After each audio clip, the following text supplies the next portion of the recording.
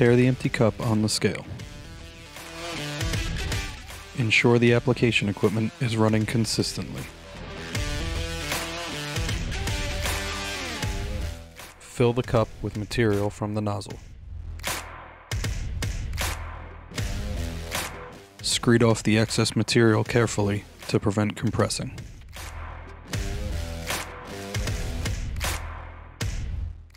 Weigh the cup.